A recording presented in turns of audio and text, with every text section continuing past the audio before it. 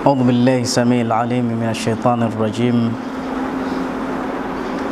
بسم الله الرحمن الرحيم. الحمد لله الذي شرف الأنام بصاحبه المقام الأعلى. وكمل السعود بأكرم مولود حوى شرفا وفضلا. وشرف به الآباء والجدود ملع الوجود بوجوده عدلا. حملته أمه آمنة فلم تجد لحمله ألما ولا ثقلا. وأشهد أن لا إله إلا الله وحده لا شريك له. وأشهد أن سيدنا محمدا عبده ورسوله. بعث للتوحيد الكلمة ولكلمة التوحيد. والله ما خلق الإله ولا برى بشرا يرى كمحمد بين الورى. يا سيد العقلاء ويا خير الورى ويا من أتيت إلى الحياة مبشرا. وبعثت بالقرآن فينا هاديا وطلعت في الأكوان بدرا نيرا. إن الله وملائكته يصلون على النبي. يا أيها الذين آمنوا صلوا عليه وسلموا تسليما. اللهم صل وسلم على سيدنا محمد طب القلوب ودوائها وعافية الأبدان وشفائها ونور الأبصار وضيائها وقوت الأرواح وغذائها صلاة دائما مستمرا إلى يوم نلقاه. Ndugu zangu, tumekusanyika hapa tunazungumza na online hizi, lakini wallahi, yoyote yule ambaye atatoa masikio juu ya haya nitakayoyasema atapata faida ya kuja huku leo, na ataona yote yaliyomleta faida aliyoipata ni hii, kwa sababu faida hii tajmaa laka duniaka, itakutengenezea dunia yako, lakini si dunia pekee na akhera pia. Na hakuna mtu ambaye hataki kutengenezewa mambo yake. Kitabu Riyadhu Salihina, kitabu salatu ala rasulillahi sallallahu alayhi wasallam, babu fadlu salati ala rasulillahi sallallahu alayhi wasallama qala taala inna allaha wa malaikatahu yusalluna ala nabiy ya ayuha alladhina amanu sallu alayhi wa sallimu taslima wa an ابن العاص رضي الله عنهما أنه سمع رسول الله صلى الله عليه وسلم يقول من صلى علي صلاة صلى الله عليه بها عشرة. رواه مسلم. وعن ابن مسعود رضي الله عنه أن رسول الله صلى الله عليه وسلم قال أولى الناس بي يوم القيامة. أكثرهم علي صلاة رواه الترمذي وقال حديث حسن. وعن عوس بن عوس رضي الله عنه قال قال رسول الله صلى الله عليه وسلم إن من أفضل أيامكم يوم الجمعة فأكثروا علي من صلاة فيه فإن صلاتكم معروضة علي. وقالوا يا رسول الله وكيف تعرض صلاتنا عليك وقد أرمت. قال يقول بليد. قال إن الله عز وجل حرم على الأرض أجساد الأنبياء. رواه أبو داود بإسناد صحيح. وعن أبي هريرة رضي الله عنه قال قال رسول الله صلى الله عليه وسلم رغم أنف رجل ذكرت عنده فلم يصلي علي. رواه الترمذي وقال حديث حسن. Haya imetosha bwana mtume sallallahu alaihi wasallama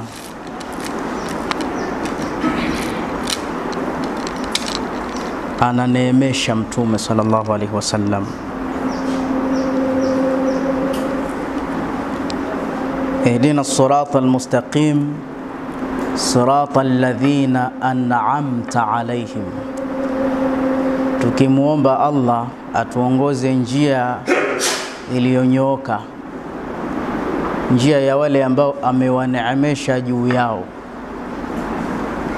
basi hakika pia Mtume sallallahu alaihi wasallam kwa nasi ya Qur'ani ananeemesha mtume. Kuneemesha kwa Mwenyezi Mungu ni masdar na kwa mtume ni madhhar. Allah mwenyewe ndo kajalia mtume ananeemesha.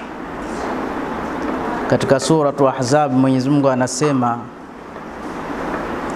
wa taqula lilladhi an'ama Allahu alayhi wa an'amta alayhi amsika alayka zawjaka wattaqillah, ulivyomwambia yule ambaye Mwenyezi Mungu alimneemesha, wa an'amta alayhi, na wewe Muhammad ukamneemesha ukamwambia amsika alaika zaujaka wattaqillah, asimuache mke wake amwogope Mwenyezi Mungu. Hii inatosheleza, kumbe mtume ananeemesha. Na mimi nitakuambia mtume ananeemesha akiwa hai na hata akiwa amekufa, mtume sallallahu alaihi wasallam. Nitaje sifa zake chache alafu nieleze idadi ya sala za mtume na fadhila zake, na tutoe ushahidi watu ambao wametoka kimaisha, kimajanga kupitia sala za mtume sallallahu alaihi wasallam. Na niwakumbushe tu Waislamu kwamba sisi tuna rasilimali zetu, isipokuwa Waswahili wanasema asiokuwa na bahati habahatiki. Hata nyumati zilizopita zilienjoy na zilineemeka kwa jina tu la mtume sallallahu alaihi. Nyumati kadha walikuwa wakihitaji ushindi, basi walikuwa wakilitumia japo jina la mtume sallallahu alaihi wasallam.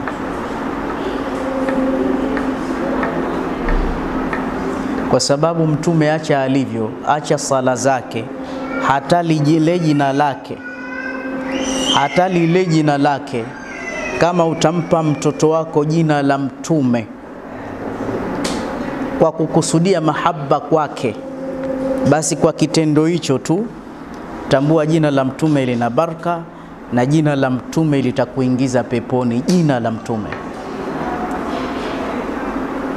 Iko hadithi Imamu Nasai anasema ni sahihi, mtume ashawahi kusema man wulida lahu mauludun fasammahu Muhammadun lihubbi li au tabarruka li fahuwa wa mauluduhu fil janna. Hii ni hadithi ya mtume iko,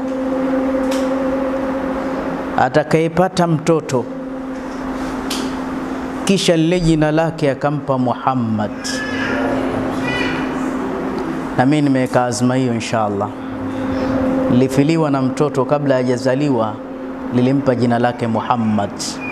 Sasa mtume asema atakayepata mtoto fasamahu Muhammad, akamwita Muhammad lihubbi li, kwa sababu mimi ananipenda sana, au tabarruka li, au anatafuta baraka kupitia jina langu.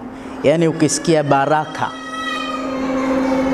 ukisikia barakatan, huwa jundun min junudillah basi baraka ni askari miongoni mwa askari wa Mwenyezi Mungu Subhanahu wa Ta'ala. wa idha halat alaika barakatan fi malika, Mwenyezi Mungu akikuletea baraka katika mali yako, ndo unakuwa una mali lakini huna pressure. Mwenyezi Mungu akikupa baraka kwa mke na watoto, kwani watoto ufikiri hatuna? Wake hatuna, tunao, lakini kilichokosekana ni baraka. Yaani mke akikosa baraka hata kumtambulisha mbele za wenzio unaona aibu, make hamfanani mambo yenu. We ni mtu wa dini, mke apendi dini. Hata wakija maustadhi nyumbani, hodi hodi Sheikh, unamwambia mke wako baki huko huko, ole wako utoke huko huko, subiri huko huko, kwa sababu anaweza wakaja mashehe akatoa chuchu lake ananyonyesha watoto. Mbele yao namna kama hii, na hata ukiongoza naye ambia wewe tangulia, mimi nakuja Utaki watu wajue huyu ni mkeo, hata mtoto pia watu ndo wajue huyu ni mwanangu, nitaaibika. Kwa hiyo wewe umepata mtoto lakini umekosa baraka. Kwa hiyo jina la Mtume Muhammad ukitaka baraka utapata, sawa eh? Na akasema sasa, atakayempa mtoto jina lake Muhammad kwa kunipenda au kwa kutaf- kutafuta baraka, fahuwa mauluduhu fil janna, basi mimi na yeye kesho au yeye na mtoto wake kesho ataingia peponi. Lakini isiwe huyu mtoto umempa jina Muhammad kwa sababu babu yake anaitwa Muhammad, jina la ukoo, na likikosa baraka kwamba hujaita kwa sababu ya mtume, ni ukoo tu, ndo unakuta linakatwa Mudi, Madi, Medi, haliitwi Muhammad.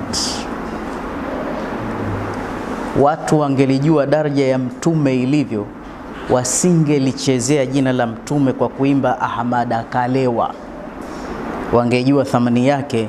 Sasa twendeni kidogo kidogo, ndugu zangu wa Kiislamu. Kwa hiyo mtume sallallahu alaihi wasallama ananeemesha. Mtume sallallahu alaihi wasallama jina lake lina baraka. Mtume sallallahu alaihi wasallama alienda nchi ya Madina. Wakati anatoka Maka kwenda Madina, wanasema aliingia saatu dhuha, hakuingia usiku, ilikuwa mchana. Lakini kuingia kwake Madina, ule mwanga wa jua, watu wa Madina ulitoweka kwao, wakaiona nuru ya Mtume Muhammad, na wenyewe wakasema tala albadru alaina min thaniyati lwada wajaba shukuru alaina madha lilahi da. Tala albadru alaina, mwezi umechomoza juu yetu. Yani wao hakuiona, hakuona mwangaza wa jua, waliona nuru ya Mtume Muhammad sallallahu alaihi wasallam. Lakini mtume ni zaidi ya huo mwezi, na ni hinama wasafa Allahu alqamar Manake mtume yeye amechukua sifa ya jua na amechukua sifa ya mwezi, sawa eh? Kipindi Mwenyezi Mungu ana, ana, ana usifu mwezi alisema wa qamaran munira, lakini kipindi analisifu jua wajaalna sirajan wahaja, hinama wasafa habibihi Muhammad. Lakini alivyoanza kumsifu mtume Muhammad fajamaa baina wasifain, akakusanya sifa zote mbili, ile sifa ya jua na sifa ya mwezi, vyote akavikusanya kwa mtume, akaambia wadaian ila llahi biidhnihi wasirajan munira. Lakini ashamsu yankhasif walqamara tankasif, jua wakati mwingine linashikwa kidogo na mwezi unakamatwa, tunasali khusuf na kusufu walakina nura Muhammadin la yankhasif wala tankasif, lakini nuru ya mtume haishikwi haizuiliwi. Siku zote mtume sallallahu alaihi wasallam ni mwenye kung'ara, mwenye kusema sema anta badru wa anta shams. Mtume ilikuwa uso wake hauelezeki, uso wake ulikuwa ni mpana, alikuwa anaqa lamfi, pua yake ina mfupa, na hizi nyusi hizi zilikuwa zimeungana na mtume alikuwa ni mzuri kuliko Waarabu wote dunia nzima. Na mtume na Yusufu, mzuri ni nani? Na nabii Yusuf mzuri kuliko wote upande wa wanawake dunia nzima ni ummina Hawa ummal bashar, mama Hawa, kwa sababu alitoka peponi, ni mzuri sana uzuri wake la yatasawaruhu laql, akili ya kibinadamu hukubali, ni mzuri. Akifuatiwa na mama Sara mkewe Nabii Allah Ibrahimu. Lakini upande wa wanaume, niulize kwa pamoja, upande wa wanaume mzuri kuliko wote dunia nzima nani? Abasi mm. Mzuri upande wa wanaume ni Saina Adamu abul bashar, baba Adamu ni mzuri ajabu, hakuna mfano wake, mzuri. Na kwa nini asiwe mzuri na wakati Mwenyezi Mungu anasema katika hadith Qudusi amemumba Adamu, mtume asema kwa mikono yake miwili haimithilishi Mungu ana mikono miwili, lakini mara nyingi anaongea kwa upeo wa akili zetu tupate kufahamu. Lakini hadithi hiyo iko kwa mikono yake miwili amemuumba Saina Adam. Kwa hiyo Adamu alikuwa mzuri wa ajabu, alikuwa mrefu mita 60 kwenda juu, unene alikuwa mita 40. Leo angekuwa hai mzee Adam tusingemwona usoni, na nyumba kama hii asingeweza kuingia, wala misikiti tunaoswali hata ule wa Mtoro na ukubwa wake asingeweza kuswali. Alikuwa ni mkubwa sana, lakini mazala yankus mundhu dhalik, binadamu hajaacha kuwa mdogo mdogo mpaka leo. Utakuta watu wengi wa Tanga saizi nyingi ni kama mimi, hapa ndo mwisho hivi kwenda juu, na una watoto unaitwa baba, lakini alikuwa mkubwa sana, lakini alikuwa mzuri ajabu.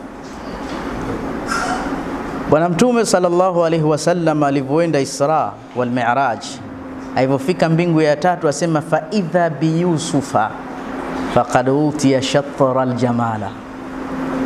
Maana ya shatra aljamala nisfu aljamala.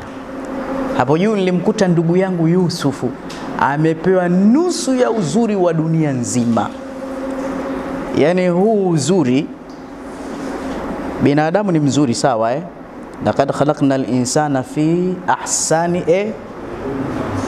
Yani binadamu tumemuumba na umbile la kutakmiwa, kulingamanishwa, ndo takwimu sawa eh? Yani jicho linakaa hapa na nyusi inakaa hapa, pua yake iwe saizi. Embu siku moja mchukue mzee kenge yule, ukae naye kwa kioo, tizama sura yako na sura ya kenge au kima ndio utajua binadamu ni mzuri wa ajabu kabisa. Angalia macho yake, angalia sura yake. Sasa huu uzuri huu ulikuwa kitu kamili kama chungwa. Mwenyezi Mungu akaujalia nusu mbili, nusu nzima amepewa Saina Yusufu peke yake, na nusu iliyobakia ndo sote hapa tukagawana na mtu anaweza akafa kwa mkewe kwa sababu anamuona mrembo kuliko, kumbe tumegawana gawana tu. Sasa uzuri kamili alikuwa nao baba yetu wa Adamu. Sasa je, Saina Yusuf na mtume wetu kipenzi sallallahu alaihi, mzuri zaidi nani? Hawa wote ni wazuri, lakini kana jamalu Yusufu fitna, ilikuwa uzuri wa Saina Yusuf ni ule wa kufitinika wanawake mpaka watajiua kwa uzuri huo. Wakana jamalu Muhammadun hibatun, ndio lamma araka alkarbu, anasema ama uzuri wa mtume Muhammad ni zaidi kuliko Yusufu, kwa sababu uzuri wa mtume alivyo. hasa nisikilize, ni haiba. Kwanza ukimtizama mtume moja kwa moja unakumbuka akhera Ukimtizama mtume unaona alama ya Allah. Ukimtizama mtume ukiwa na stress zinaondoka. Kila ya kuonapo matatizo, we Muhammad, yote yanasambaratika. Lakini mtume alivyo, kwa wale wenzangu na mie ambao washawahi kumwona mtume, nani ashawahi kumwona mtume mubashara, sura kweli kweli hivi? Hakuna hata mmoja. Utasikia mimi nimeota, nimemwona kageukia kule mi nimeona hapa sijaona, kwa sababu mtume sura yake ilikuwa ina amali nzito. Kwa hiyo hata sahaba yoyote akijaribu kunyanyua macho yake kumfesi mtume lihaibatallah, la nukallimuhu lihaibatallah, anasema ile kumtizama macho yenyewe yanaenda chini, kwa sababu ile nuru ni kubwa sana ya mtume, huwezi kumfesi. Myahudi mmoja alimkuta ali, ali mtume kalala. Afu akam, akashika panga akamwambia, ya Muhammad, man mamnauka minni, man yamnauka minni, nani atakuokoa? Nitakuua wewe leo. Mtume alikuwa usingizini, Yahudi kashika panga, fafataha ainai, mtume akafungua macho yake mazuri yalokolea weusi na weupe, hasa na kope zake wa hadbin wa hajibin na nywele zake za, kalamu na sharafa ya uso wake. Alivyofungua sura yake, alifungua moja kwa moja akasema Allah. Alivyomtolea macho yule bedui, kapigwa na shoti kuona nuru ya Mtume, kadondoka pale pale, hajiwezi tena. Mtume akasimama akashika lile panga akaambia, waman wa, wa yamnauka minni, aya na wewe nani atakuokoa sasa? Zamu yako sasa. Akaambia kuwa mtekaji bora Muhammad, wewe ni mkarimu Muhammad. Angalia Mtume ambia sasa, fanya haraka jamaa, wasikukute askari wangu watakumaliza, kimbia. Angalia Mtume sallallahu alaihi wasallam, akhlaki zake hizi, nuru ya Mtume. Alivyokuwa mbali Mtume usiku alikuwa akionekana kama taa ya chemli.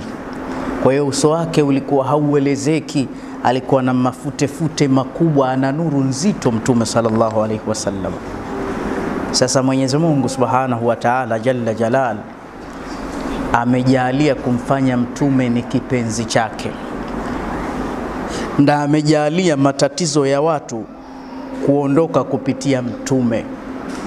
lau anna awwalahum wa akhirahum wa insahum wa jinnahum salaqu kulla tariqin wastaftaha alayya kulla babin ma fatahtu lahum hatta yatu khalfaka ya Muhammad.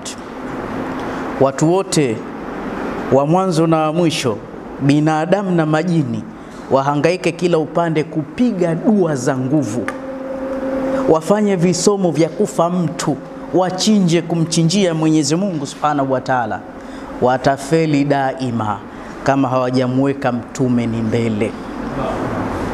Yani mtume sallallahu alaihi wasallam, yani vinoge ndo hivyo hivyo au visinoge, lakini arzaq, maisha yetu yote Mwenyezi Mungu kayakadiria kupitia mtume sallallahu alaihi wasallam. Yani nataka kusema siku zote daima, ukimweka mtume nyuma, mambo yako yatafeli. Mtume anasema Allahu qasimun, Mwenyezi Mungu ndo mgawaji yeye ndo mgawaji. Mwenyezi Mungu Allahu qasimun, yeye Mungu Allahu, yeye Mwenyezi Mungu Subhanahu ndo mtoaji, wa ana qasimun, Allahu yuthwa wa ana qasimun. Mwenyezi Mungu ndo anayetoa, anatoa ndoa ya mtu, anatoa mtoto wa mtu, anatoa kazi za watu, lakini mimi Muhammad ndo mgawaji. Angalia uzito wa mtume Muhammad. Ndo maana mmoja asema mata buitha Kwani wewe ulitumilizwa muda gani? Anasema mtume alitumilizwa hata kabla ya Saina Adam kuwepo ulimwenguni, ile daraja yake. Saina Adam alifanya makosa mazito mpaka Mwenyezi Mungu ambia ihbitu minha jamia, mtatoka hapa.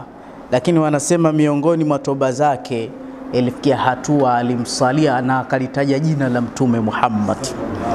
Lakini pia wanasema wanawachuoni Saina Adam alivyoambiwa sukuna anta wa zaujuka aljanna, kaa na mkeo peponi. Alikuwa amelala Adam akionekana mutawahisha, ana sura ya upweke. Kuamka pembeni, akamwona mwanamke mweupe wa Kiarabu mzuri, akataka kwenda kumchukua. maraki alimuuliza lima khulikti, kwa nini umeumbwa? Ambia nimeumbwa ili we upate utulivu. Ha, njoo basi mke wangu. Ambia a, mambo hayaendi hivi kwanza kabisa utoe mahari. Ndo maana tunasema hunaka fi samawiya, huko mbinguni, maafishi ya dianu mutaaddida, hakuna dini nyingi, dini ni moja tu, sheria tu. Kwa hiyo yale mambo ya zamani, kuanzia mambo ya harusi mpaka leo ndio yanaendelea. Hata kuzika hakujaanza leo. Alivyokufa mzee Adam, walikuja malaika, walivyokuja pale wakaanza ikhtisal, wakamuosha malaika thumma kufina, kisha wakamtia sandani malaika. Thumma sulia alaihi, kisha wakamsalia. Thumma dufina, kisha wakamzika. Walivyomzika wakatuambia hivi, na aliyasema maneno hayo Jibril, sana Jibril, hadhihi sunnatukum ya bani adama, mwendo wenu uwe hivi, mzikane hivi. Sio kwamba mazishi yameanza juzi kwa Mtume sallallahu alaihi tokea zamani. Kwa hiyo pia Sayyidina Adam alipata harusi yake kumuoa mke wake aliozeshwa, akaambia lazima upate nihila kidogo. Baadhi wanasema mahari aloambiwa atoe, wanasema asema la taqraba hadhihi shajara, huu mti huu usiukaribie, usiule. Hii ndo mahari yako. Lakini wengine wanasema hapana, mahari yake aliambiwa amswalie Mtume sallallahu alaihi wasallam. Ibada ya kumswalia Mtume hata Mwenyezi Mungu Subhanahu wa Ta'ala anaitekeleza. Hakika yeye Allah na malaika wake wanamsalia mtume, na sisi ikaja kwetu amri tukahimizwa tumsalie mtume. Kumsalia mtume akitajwa tu, usipomswalia we unalaanika, unaingia matatizoni. Je, kuna faida gani kumsalia mtume? Sayyidina Ubay bin Ka'ab aliambiwa na mtume hivi, ikiwa utakithirisha kunisalia mimi kwa wingi, basi Mwenyezi Mungu Subhanahu wa Ta'ala atakutosha shida zako, mambo yako mengi kabisa yatakwenda chapchapo kwa sababu ya kumsalia mtume sallallahu alaihi wasallam. Hii ni sala ya mtume sallallahu alaihi wasallam. Yuko mwana wa chuoni anaitwa Sheikh Jazul Masr, ametunga kitabu kinaitwa Dalailul Khairat. Hichi ni kitabu cha dua, lakini ndani yake kina adhkari nyingi sana na sala za mtume. Chanzo cha kutunga kitabu shekhe huyu, siku moja alitoka safari, ikamkutia wakati wa kutaka kuswali.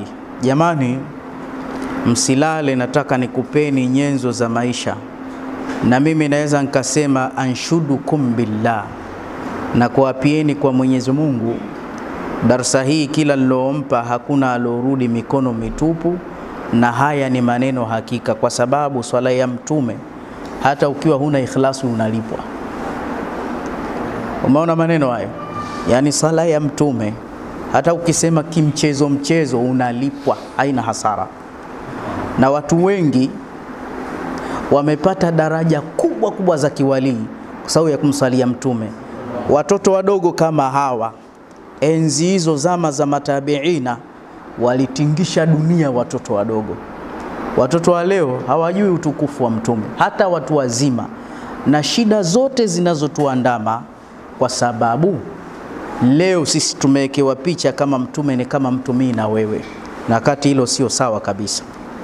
Sasa njia za kutokea ni hizi. Sasa ndio maana nikabeba hii tasbihi, nataka niiambie jamii pamoja na ninyi pamoja na mimi utukufu wa mtume na kufungua hali za kimaisha, na hata mimi leo nitajitolea baadhi ya ushuhuda inshallah.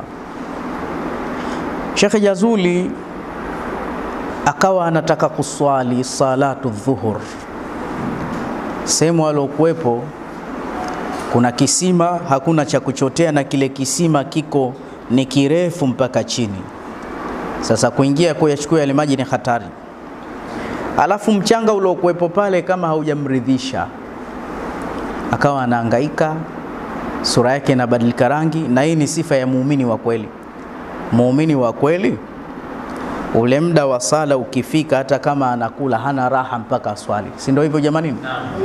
Hata kama atategea alfajiri akisikia salatu khairum minan naumi, anasema annaumu khairum minas sala, anakoroma tu, lakini ule usingizi hauna raha mpaka asali tena hujiambia pengine nkafa hapa bila ya kuswali, ujue. Sasa akawa amekosa raha, akapita binti mdogo kama watoto hao wadogo walioegamia huko, binti mdogo tu, anamwona Shekhe Jazuli anaangaika, anaambia shekhe, mashaanuka wa maasabaka raka maamuma, kiongozi wetu kama wewe, vipi, mbona huna raha? Akaambia, mwanangu, nitakuwa na raha vipi? muda wa sala utaka kupita halafu maji yako mbali, mimi nitaka kutawadha, sioni hata chombo. Wewe ufikiri nitakuwa na raha kiasi gani?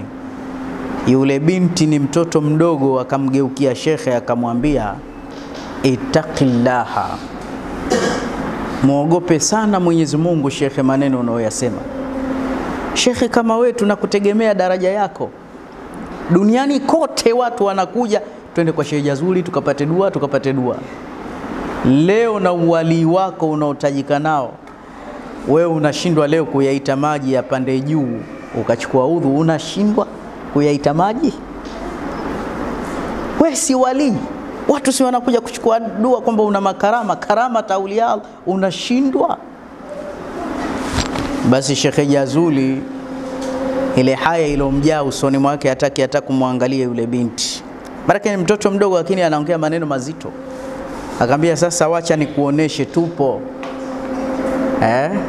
Wanasema hivi, Mwenyezi Mungu Subhanahu wa Ta'ala amejalia kukamilisha hii dini kupitia Mtume sallallahu alaihi wasallam, na yeyote awe mke awe mume awe mtoto awe mkubwa atakayefanya juhudi ya kuingiza dini kamili ndani ya maisha yake atapata faida duniani na akhera, na yeyote ambaye hatofanya bidii ya kuingiza dini kamili katika maisha yake, aishi mjini, aishi kijijini, aishi na tajiri, aishi na maskini, wallahi atakula hasara duniani mpaka kesho akhera. Cha ajabu, Mwenyezi Mungu ameweka fursa ya wazi kwa kila mmoja wetu ya kuingiza dini kamili ndani ya maisha yake mpaka pumzi yake ya mwisho.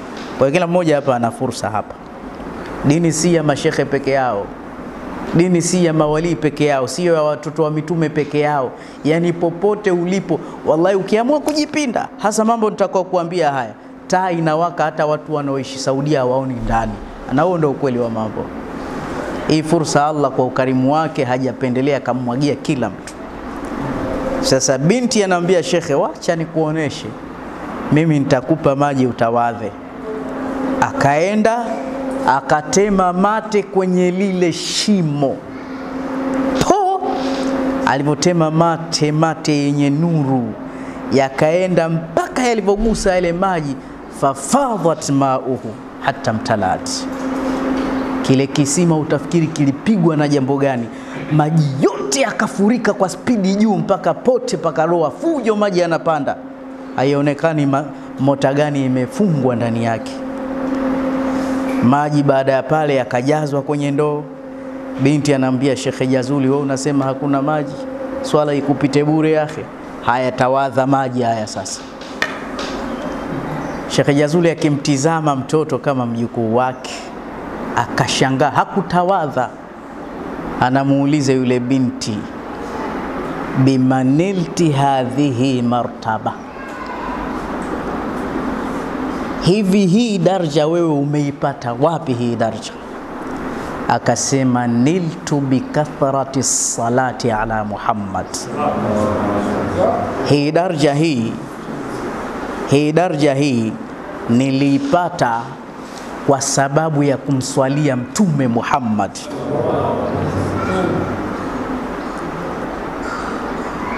Nitoe kisa cha mwisho, alafu nimtaje shekhe mmoja fi asrina hadha.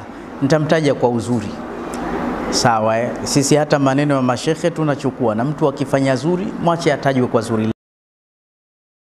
lakini alikoshwa na kina Saina Ali pamoja na mama yetu Aisha.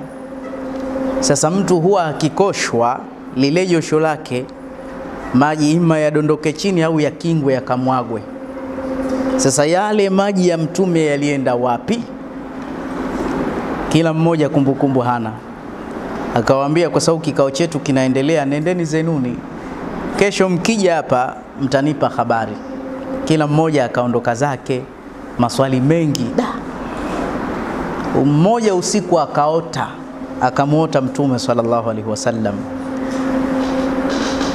na Mtume yuko pembeni na mtu ambaye ameshika ile taa ya kandili ile chemli, kana kwamba anammulikia Mtume. Yule bwana akamuuliza Mtume, akaambia, tuliulizwa kuhusiana na yale maji uliokoshwa wewe, eti yalienda wapi yale maji? Akasema, muulize huyu bwana alioshika hii taa ya koroboi. Yule bwana alivyoulizwa eti yale maji yalienda wapi, ambia yale maji baada ya kumwagiwa tu. Ilitokea miujiza tabakhara, kila yakimwagiwa yakawa yanakuwa mvuke, yanakuwa bukhuri, alafu yakaenda moja kwa moja mpaka mawinguni. Yalipofika kule mawinguni, yakayeyuka yakawa maji, yakaanza kudondoka katika ardhi matone. Kila lilipodondoka tone ardhini, pakawa panajengwa msikiti. Eh? Mara tahamaka akaamka yule bwana. Alipoamka yule bwana Kesho akaenda kule mpaka kwenye kikao. Walipofika kule, anamwona Shekhe Mutawalli anaendeleza mada zingine, haulizi lile jambo wake ashapata jibu. Ikabidi aulize, Shekhe, mbona hautuulizi homework yako ya jana? Ambia haya, wewe wajua? Ambia najua yale maji bwana yalienda mbinguni yakateremka ardhini, akamwambia kama alivyoota. Watu wote wamenyamaza. Imam Shahrawi, unasemaje? Ambia ma hadha faqad sadaka, amepatia hivi alivyoongea ni kweli. Kwa hiyo ndio yalikuwa hivi, andamia naam, lakini mimi ninasalla kumuuliza haya, muulize, asema alokuambia hizi habari nani? Alokuambia hizi habari ni nani? Yule bwana akasema, hizi habari bwana kaniambia mtume mwenyewe usingizini. Akajiona bingwa. Imamu Muhammad Mutawalli Shaarawi akamwambia, hapo umetudanganya, hapo hizi habari hajakuambia mtume, bali hizi habari alikuambia jamaa mmoja alikuwa ameshika chemli, ndivyo sivyo? Ambia la ilaha illallah. Angalia watu na daraja zao. Akaambia kweli bwana, niliota nikamwota mtume, pembeni kuna jamaa mwingine kashika koroboi, alafu baada ya hapo kushika koroboi, nilipomuuliza mtume akaniambia nimuulize yule bwana. Yule bwana kweli akaniambia, akaambia na kuuliza swali la tatu, je, huyo bwana alokuambia unamjua we ni nani? Ambia simjui. Ambia basi ndo nilikuambie bwana mdogo eh. Siku moja namtaja shekhe huyu yuko Magomeni, anaitwa Shekhe Walidi Lhadi e, namtaja kwa hili halina ubaya, sipendi kutaja taja watu, lakini kwa hili nzuri. Siku miongoni mwa siku nilienda machimbo kwenye hadhara ya Mtume Muhammad. Nilipofika katika hadhara ile nikatangulizwa kuzungumza kabla ya Shekhe Walidi. Mimi nikatoa udhuru, lakini nikaambiwa lazima niseme. Nikasimama nikasema, kisha naye akaamka akasema.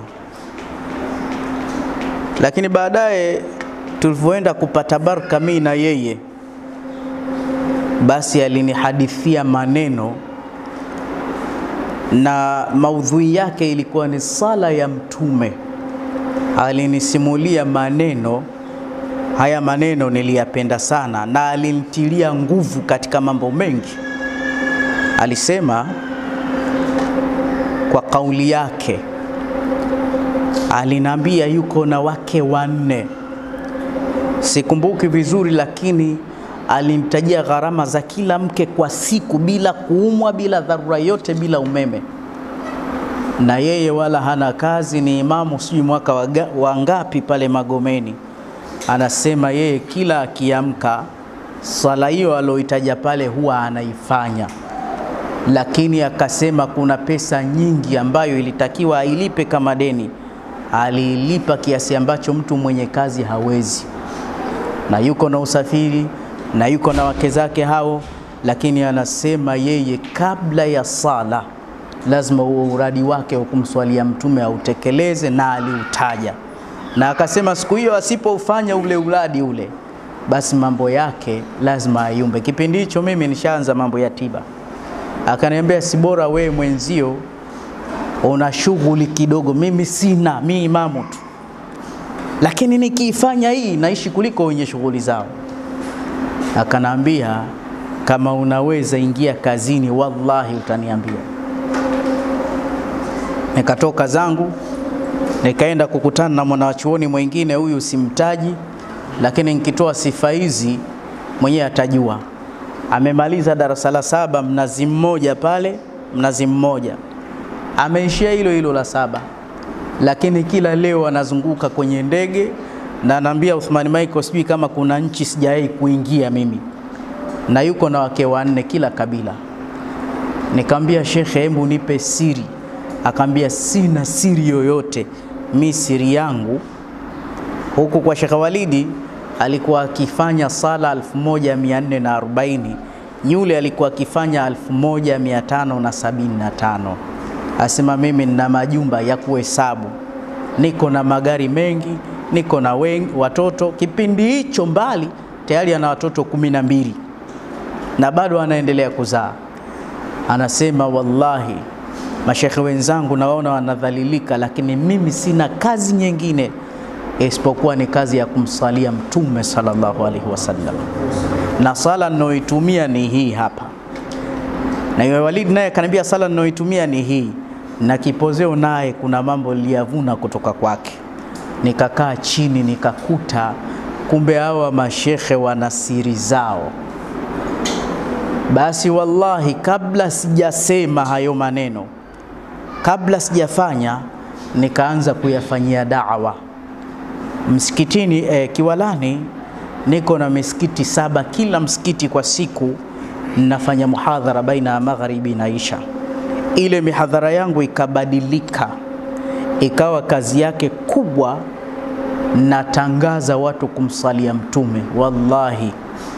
Mimi sijaanza hapo. Nilipata ushuhuda mpaka nilishangaa kuna mtu nilimpa idadi hiyo 1575 nikamwambia Ijumaa msalie mtume. Asema Sheikh kidogo nife.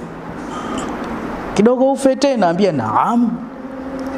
Ile sala ya Yunus ulionipa nilisoma yote. Kisha baada ya hapo nikamsalia mtume mara hizi. Nilivyomaliza utafikiri nimemeza asali ikacheua. Nilitapika mpaka puani mpaka nikatoa nywele na vijiti asema jisaa lizima mpaka tu asema apeleke hospitalini. Umekula nini? Akatambika kwelikweli amekuja nyumbani kunihadithia na ameniletea zawadi kiasi ambacho hayawezi kuwa mwongo mtu akakuletea zawadi. Nikamwambia kwani ulikuwa una nini? Ambia maisha yangu. Naweza nkaamka tu sioni giza miguu ganzi. Kumbe ni mtu kwanza alifanyiwa uchawi siku nyingi. Ni fundi mahiri bomba lakini analala njaa anasema ninavyokuambia tokea nilivyofanya hivyo nimeitwa kwenye kampuni yangu ya zamani nimeongezwa cheo hatari. Nikaona hizi hela kabla sijaziweka benki nimpeleke shehe wangu. Analia yule mtu. Namuuliza mara mbili mbili acha utani. Muhammad Enterprises ana viwanda vyake. Miongoni mwa kiwanda kipo Kiwalani Markaz opposite na Markaz. Ndani kuna mswala ule mswala niliombwa mimi na wafanyakazi wa mle nitoe darsa nikaenda kuwapa salatu ala nabii.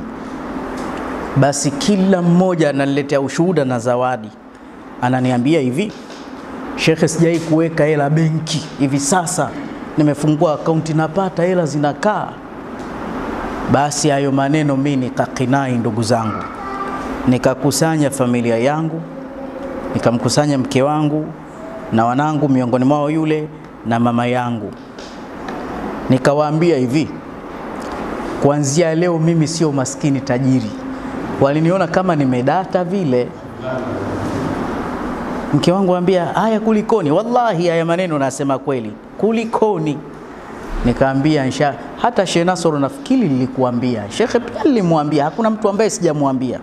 Nikaambia Sheikh, tutoke kimaisha yani niliingia pale markazi subhanallah wote tunafanya harakati za dini lakini naona waliniona wengine huyu kachanganikiwa. Yaani nilivyoingia pale markazi nikawaambia jamani utajiri nje nje jamani. Mpaka mmoja nikamwambia kaa vipi acha kazi zako tuanze kuwa madarueshi wa kisawasawa. Tumswalie mtume tutafanikiwa. Nitatoa idadi maana kuna watu wananongwa. Kesha mswalia mtume mara kumi ambia shekhe sijaona. Wewe unajua kumswalia mtume we niulize mimi nimekutana na mwanaume Singida ana makampuni. Ananambia shekhe kima cha chini kima cha chini nimekosa nafasi. Basi huwa namswalia mtume wiki nzima ndo natoka nje lakini mi napiga mwezi hadi mwezi. Mwezi hadi mwezi. Wewe subhanallah ushamaliza. Wewe unaona mchezo?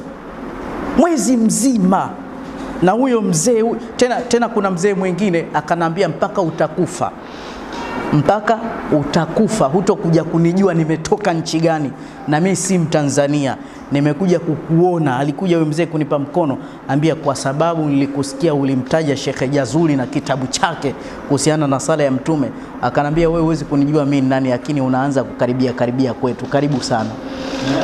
Sasa sijui ni walii wa Mungu wallahi, na sijamwona mpaka leo, na unaonekana si raia wa nchi hii. Sala ya Mtume hii. Haya maneno narudia tena. Basi baada ya kitendo hicho, mke wangu nikamwambia, leo alhamdulillah, mimi nishaanza kuwa tajiri, naona magari mengi tena. Nikamwambia naona wasanii wengi mpaka Bongo Move wote watakuja kuhitaji dua kwa Sheikh Michael, naona watu watasikiliza. Akaniambia wewe una nini? Nikamwambia nimepata dhikri moja matata, tutakuwa na hela sisi. Angalia wanawake walivyo. Akanambia ao mashehe zako alokuambia, kwanza wenyewe wanazo hizo hela Nikamwambia kama hawajatekeleza shauli yao, mimi nitafanya madaraja midamu wameniambia, mimi nafanya. Wallahi mashehe wamenisaidia, na mmoja Mungu amrehemu, kesha tangulia mbele ya haki. Yeye anaitwa profesa, anahifadhi jina lake kwa mbele. Nikawachukua watoto nikawaambia, amna mtu kuegemea kiwambaza ili ikubalike. Basi naambia we utaua watoto hawa, lisali moja watoto. Nikamwambia wacha wataje hivyo hivyo hapa kitaeleweka sasa hivi, Sisi tunaishi Kiwalani, maji machafu, tuhame huku saa hizi. Nikaanza sala za Mtume, wallahi wa billahi wa tallah, ndani ya wiki moja nikakuta nina frame kumi za maduka. Shekhe, wewe unazijua, hapa nauza makanzu, hapa nauza madawa, hapa hata sijui mtaji nimepata wapi, Sheikh Saimu hivyo ah! Basi watu maduka yote haya nani, kila pahala Osman Mike, Osman Mike, Osman si ushaelewa sawa sawa? Basi mara nikaendelea nazo mimi. Mawaidha nimeanza kufanya muda mrefu sana, muda mrefu sana, na huku kurekodiwa huku nimeanza muda mrefu, yaani muda mrefu, lakini tokea nianze kumsalia Mtume, mambo yote mnaoniona nayo mpaka sasa na mawaidha yote mnaoniona, hakuna zaidi ya miaka mitatu mpaka sasa hivi, hakuna hata mawaidha yangu ya miaka minne ndo hayo yote utasikia, yani utakuta nimekaa tu nime vitu vimetoka tu kichwani, hata sina fikra, lakini ukuta vinawaliza watu hii mada ya ndugu hii. Naona watu wanakuja mpaka viongozi wa kidini, naambia si haya mawaidha, ile sala ya Mtume sallallahu alaihi wasallam. Kwa hiyo jina likakuzwa, tukasafiri tusikotarajia, tukaheshimishwa sana kila pande. Ama mambo ya riski Mungu mwenyewe ndo anajua, lakini mimi ninavyo vipando nikikuhesabia hiki kilikuja kwa sala. Wacha nimalizie la mwisho, wacha nimalizie la mwisho eh, kwa sababu mtume tunaye pia, hakuna kunitisha kweli. Mimi ninayo renji, ninayo renji, gari inaitwa renji, ninayo sawa, eh? Ni kitu cha kawaida tu, lakini kwa mimi si jambo la kawaida. Siku moja niliwaambia vijana wangu na mmoja ya ahli zangu, nikawaambia leo nataka kufanya jambo, leo nataka kufanya jambo nikamswalia mtume mara alfu kumi peke yangu, wallahi wa billah. Basi ile gari imetolewa yadi, nikaletewa mimi ile gari imetolewa yadi. Tena naitwa shekhe, unaitwa nje. Naambia naitwa na nani? Unaitwa nje. Kufika pale, shekhe, tumekuletea gari. Ah, gari imepata wapi? Na shekhe, usiseme umeletewa gari. Si kwamba ilikuwa bure tu, lakini hiyo gharama yake haifanani kabisa. Kwa hiyo watu wakisema Sheikh Uthman kapita na wala hana hela hizo, mimi maskini tu, lakini nina baraka ya sala ya Mtume.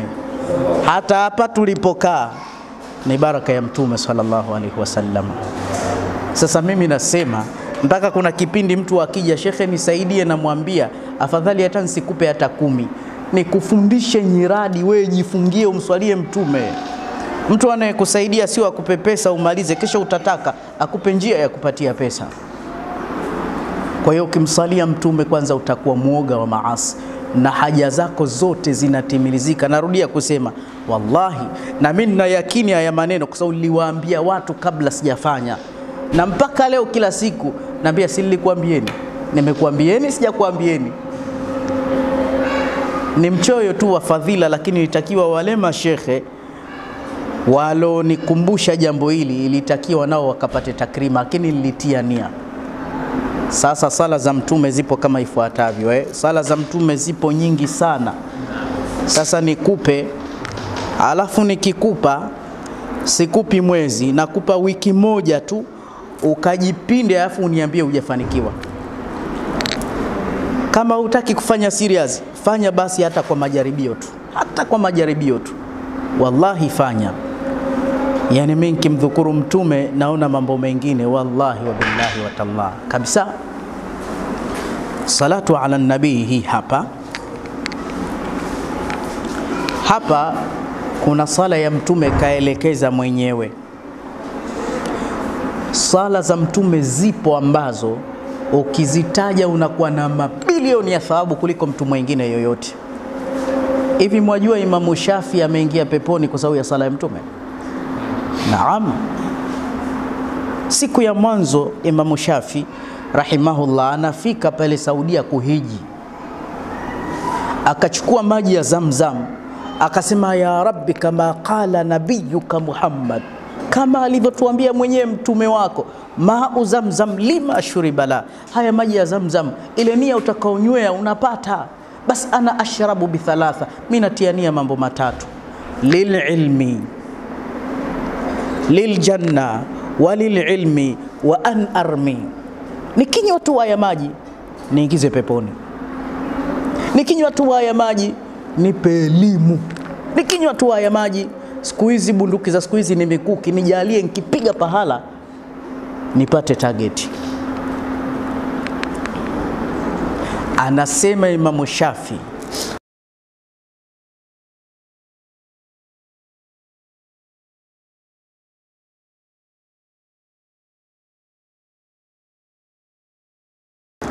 Wallahi, haya mawili nilivyoyanywa maji ya Zamzam, Allah kanipa. Kama ni elimu nilokuwa nayo, anasema ha huna kama taraunani, anasema elimu nilokuwa nayo mimi kama mnavyoniona wenyewe. Alikuwa anatisha Imamu Shafi. Imamu Shafi alikuwa anasomeshwa kitabu, haya tusome Riyadha, mfano wake anaanza leo tunasoma ukurasa huu, basi Imamu Shafi anachukua kitambaa anaziba huku asione anasoma maanake, akiona hapa anahifadhi bila kukusudia, akuta eh, vishamezeka visha vyenyewe. Wanaona mchezo watu kama anahifadhi bila kukusudia. Wanawachuoni wanamtolea ushahidi, wanasema Imamu Shafi maisha yote hajawahi kukosea lugha ya Kiarabu hata kwa bahati mbaya. Alikuwa mfasaha sana duna ashara sinina, chini ya miaka kumi amekunywa fani zote za lugha, alikuwa anajua Kiarabu hatari.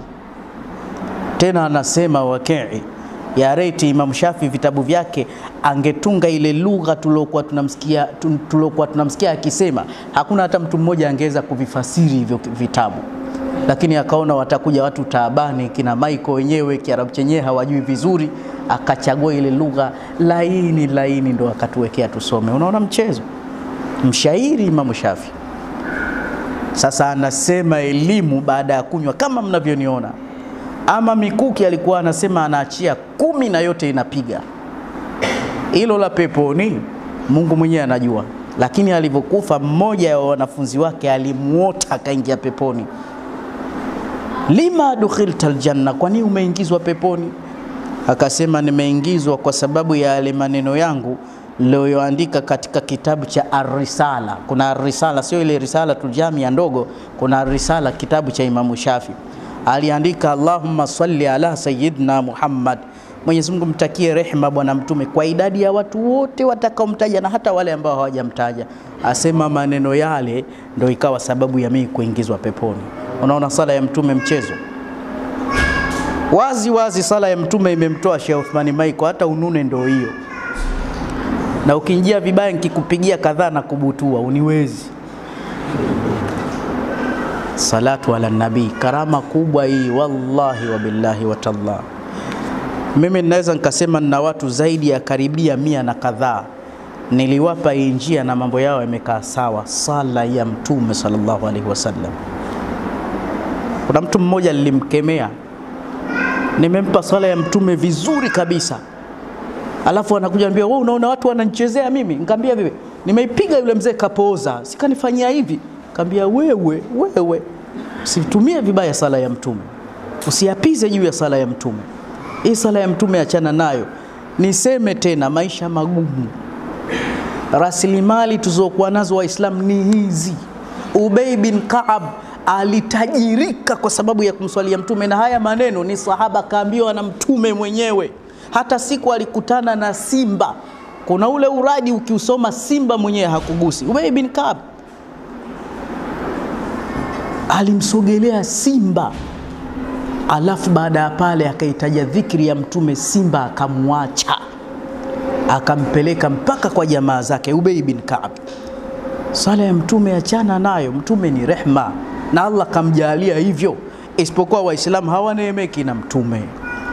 Lakini wallahi, ukiwa na tabia ya kumsalia mtume, namshukuru Mungu tokea maneno hayo, huu mwaka wa tatu tokea mpate yakini, Sheikh Saimu, haipiti siku hizo swala alfu na kadhaa lazima nzipate za mtume. Nilisafiri safari kwenda Moshi, nilipiga karibia elfu moja nilipiga karibia elfu kumi na tano kwenda na kurudi sala za basi zima, sisemi na mtu hata huyo alioniita Moshi simjui ni nani. Nilivyofika kule Moshi nilishangaa, naweza nikasema labda kwa Tanzania yeye ndo anamiliki mabasi mengi kuliko mtu mwingine yoyote. Basi nilivyofika kule aliona kama sijui mfalme kaingia nyumbani mwake, nimeenda kumfanyia dua, anatetemeka, ananionyesha kila kitu. Shekhe, nikupe nini? Basi moyo wangu baridi, yani naona makaratasi tu Nikamwambia wewe nitafutie ndege tu mimi nirudi zangu Dar. Hapana shekhe, nikupe nini? Akaniambia au nikupe basi. Nikamwambia hilo basi mimi la nini? Mimi nina mtume. Basi nikaondoka, basi nikaondoka, basi mpaka leo ananipigia simu, shekhe njoo. Naambia nitakuja, usijali, nitakuja. Basi walillahi alhamdu, nimepata marafiki wengi kutoka Marekani, nimepata marafiki wengi kutoka nchi mbalimbali mbali, lakini ni baraka ya sala ya mtume na ninashukuru, ninashukuru wala sijitapi, ila nasema kuhamasisha inaruhusiwa. Hata Sheikh Dr. Sule alivyonitembelea alitoa ushuhuda, na ninaamini nuru yake ilianza kuwakia pale, wala hakatai kwamba alisema katika nyumba chache ambazo wameziona zinadumisha qiyamul lail ni ile nyumba yetu, lakini sana nkumswalia mtume wiki nzima yote hii tuwamswalia mtume. Juzi tumemswalia mtume, jana na leo na kesho na kila siku usiku. Mpaka usiku wa juzi niliumwa na kichwa, nkajua nafa. Niliumwa sana kichwa, lakini nikawaambia vijana wangu, wananiambia hatuja kuona kiamu. Nikamwambia nilikuwa najua nakufa, lakini kwa sababu nimefululiza mwezi mzima bila kulala usiku kumswalia mtume sallallahu alaihi wasallam, naambia bora tufe Tabiiyati waliopita mtu alikuwa anapasuka jicho kwa kumlilia Allah, akamwambia ukilia wewe ili jicho la pili litapasuka. Ambia lina faida gani jicho lisololia kwa ajili ya Allah? Wacha yote yapasuke. Mtu mpaka katika macho, mashavu yake kunatengenezeka mifereji kwa kumlilia Mwenyezi Mungu Subhanahu wa Ta'ala, alama sugu za machozi. Kama mmenielewa, mtanielewa, lakini njia ya kutoka namba moja ni hiyo. Sasa kama mnanielewa vibaya, namfanya mtume Mungu shauli zenu, lakini siku zote wallahi utaperekeshwa maisha, na hayo maisha Mungu akikuachia dunia, yusallituka elkauni itakupelekesha utajuta, utajuta kweli kweli. Haya ndio mambo ya kuambiana, hakuna mambo mengine. Watu ni kuingia kazini. Hii fursa kila mmoja anayo. Hapa tuliokaa hapa Yani mmoja akiamua kujikita sote anatuburuza, wallahi wa billah. Yani Mungu achagui sura ya mtu wala picha ya mtu, hiyo Mungu huwa hanaga. Kwa hiyo utajiri wa nje nje tunao, wa duniani na akhera. Sala ya Mtume, mmoja kati ya mashekhe naweza nikamtaja pia, hii sala yake ni nzuri sana, ni shortcut. Ahmed Jongo pia eh? naye alielezea visa vyake kuhusu mtume. Sisi tunawataja watu kwa wema, kama huwapendi shauri yako, lakini sisi yale mazuri walioyasema, hata wawe mfano hatuivani nao, lazima tuyaseme. Sala za mtume ni nyingi, lakini wengi Kiarabu cha tushinda. Sasa tutaje ile fupi ambayo ukimsalia mtume ili mambo ya noge, taja na ahli baiti wake, taja familia ya mtume sallallahu alaihi wasallam. Sema hivi Allahumma salli ala sayyidina Muhammadin wa alihi wa ashabihi wasallim. Hizo sijui sayidi na zisikuogopeshe wala isiwe sababu ya kuzibabadua. Ukiona zinafaa fanya, ukiona ziko na bida basi niachie mwenyewe, lakini watu hawakatazwi kutenda kheri, hukatazwa shari. Hutukani hapa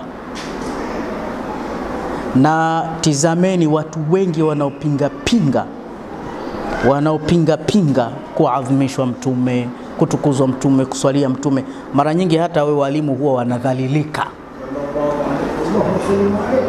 kwa sababu mtume daraja yake ni kubwa sana. Lakini pia kama unachukia maulidi, mi sisemi uende maulidini, mi nataka tu na hata kama ili, ili, ili tasbihi unaliona bida, acha tumia vidore tu. Mi nataka umswalie mtume, mi nataka tu msalie mtume, alafu uone hali itakavyokuwa. Allahumma salli ala sina Muhammadi wa alihi wa ashabihi wa sallim. Allahumma salli ala sina Muhammadi wa alihi wa ashabihi wa sallim. Namshukuru Allah katika neema alizonipa ni kulitambua hili. Basi nikiwa na stresi kidogo nachukua tasbih, nikiudhika kidogo tu nikichukua tasbihi, wallahi nafsi yangu inakuwa baridi. Usiku kama usingizi ukitaka kuleta shida tu, basi nikivuta uradi, basi mara moja inshallah, hata kama naumwa na nini. Ndugu yangu yule pale Sheikh Sheikh Ustadhi Haji ni Ansari, ndugu yangu wa kuzaliwa, minhaji ya Kianswari tua sunna, nikamwambia endelea na suna zako lakini jipinde ndugu yangu, tumswalie Mtume, tutafika mbali. Mbona tunaenda mbali? Tunaenda mbali, tunaenda mbali, tunaenda mbali.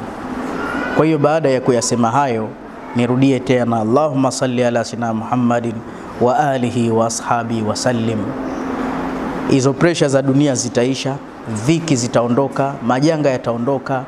Mwenyezi Mungu atakuletea riziki pale ambapo hujatizamia. Mwenyezi Mungu atakufanyia surprise, utashangaa wewe, utashangaa kabisa kabisa, utashangaa. Kuna watu wanaishi kwa majanga tu daima, lakini hii ndo nuru. Sheikh Uthman Maiko alivyoanza kushika hivi vitu, majina mengi yamekuja, Sheikh Freemason, Sheikh anatoa makafara, hata hizi mbuzi mbuzi anazochinja mwangalieni sana huyu bwana. Nikaambia ndiyo, kafara hizo mimi nampa Allah, na ufrimasoni wangu ni kumswalia Mtume sallallahu alaihi wasallam. Na siku hizi nimekuwa na tabia, hata zile dua siombi moja kwa moja. Kama kuna kitu nakitaka, unakuta namswalia Mtume afu naingiza hisia Allahumma salli, basi hicho kitu lazima nikipate, baridi kabisa kinakuja. Mwenyezi Mungu atufahamishe inshallah. Huu ndio ujumbe wetu wa leo. Mwenyezi Mungu anidumishe mimi na nyinyi, anijalie ikhlasi na watu wawe na imani wafanye, na watu ambao wana komenti na wanafuatilia katika online waendelee kupitume. Anasema huyu mama alikuwa na majanga, mama akisoma alipo Canada, anasema usiku alivyolala akasikia anaamshwa, amka mama, amka basi umuone mtume, jistiri, mtume anaingia sasa hivi, umuone mtume. Eh, mtume mtume, ambia mtume anakuja, yuko ndani ya Canada mama huyu. Akasema akavaa hijabu zake, akasema nenda sebleni, utamkuta mtume. Asema alivyofika akamkuta mtu, yani mikono yake mizuri hajawahi kuiona duniani, akawa anasikia ubaridi mkubwa nafsi yake. Sasa na watoto wake, akakuta yule mtu amevaa joho, alafu ameinamia wale watoto, anawasikiliza Qurani. Hebu soma na wewe nione umefikia wapi. Akaambia huyu ndo mtume. Basi yule mama anapagawa, anasema sasa nikaa najiandaa, nataka sasa ageuke nimuone. Sasa naona hageuki, anaendelea lakini anaonekana ni mzuri, ananukia. Nikasema itabidi nimguse, ageuke nimuone. Asema nilivyopeleka mkono tu kumgusa kwamba mtume mimi hapa, basi kukaribia kumgusa tu nikaamka usingizini, sijamuona mtume sala salam. anasema tokea niamke asubuhi shekhe, uniambie kama nimepata matatizo ya kishetani au vipi? Ngambia kwa asema muda wote nasikia furaha tu mpaka hapa, wiki nzima nasikia furaha, ndio maana nikakupigia. Yani najiona sina dhiki, kazi zangu zote zimefunguka. Mama huyu kamwona Mtume sallallahu alaihi wasallam. Nakumbuka Mtume mimi katika mara nyingi ambazo nimemwona eh, mara saba au mara nane nimemwona Mtume. Safari moja nilimwona Mtume nikiwa Singida, msikiti unaitwa unaitwa Takwa Majengo, nimelala nilimwona Mtume na nililia sana usingizini. So siku hiyo nilimwona yeye na Saina Abubakar na Saina Umar ilikuwa katika vita vya Uhudi, watu wampiga Mtume, nami nalia kweli kweli, na ninatajia wale watu. Ushawahi kumwona Utba? Basi ndo hayo majamaa hayo. Nkaa nasema basi nami nitoze. Basi akaja amiri wetu mmoja akundi ananiamsha, ambia shekhe, unalia? Nikamwambia ah, umeharibu, usingeniamsha bwana we, unaniamsha nini? Watu tuko Uhudi zetu huko, watu tuko Uhudi kuna ufungaji fulani wa kilemba nitakuja kuutolea darsa yake. Huo ukiufunga Imamu Nawawi lazima umuone usiku. Mm. E, tuseme mengi, tusiseme mengi, niseme wajazakumullah khair, wassalamu alaikum warahmatullahi wabarakatuh. Umeona eh? Si unaona online imerudi, unaona mchezo E, katika idadi kuikamilisha, ndugu yangu Muislamu, sala ya Mtume kuna ile salatu ibrahimia. Mimi wacha nikuambie, miongoni mwa sala nyingi ninazozifanya nitakutajia sala tatu ambazo nakwenda nazo ama nne.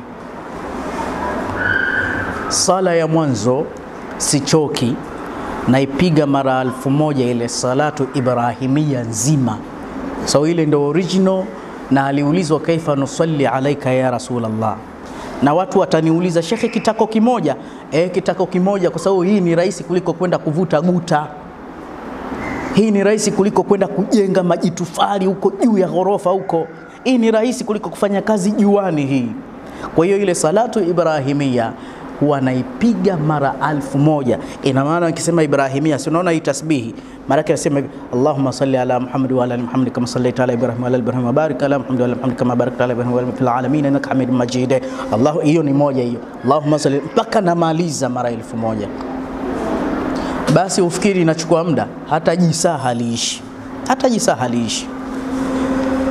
Dhikri ya pili wa kuondosha maradhi na shida, Allahumma salli ala Muhammad tibbil, wa ala ali Muhammad tibbil lqulubi wa dawaiha wa afiyati labidani wa shifaiha wa nuri labsari wa dhiyaiha wa quti larwahi wa ghidhaiha, maradhi yoyote watu wanaondoka na saratani shingo ya kizazi, watu wanaondoka na maradhi mabaya ya figo. Binti mdogo figo zimefeli, zimefelishwa na nini?